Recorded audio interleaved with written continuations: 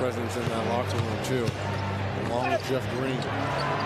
Slapped away inside right there by Davon Reed. Change again. I'm throwing shade, but I am kind of throwing shade. He's not a fake all-star. He will be an all-star. Najee with the potential and one. Just give me 10 or up, right? Because no one is really running away with this.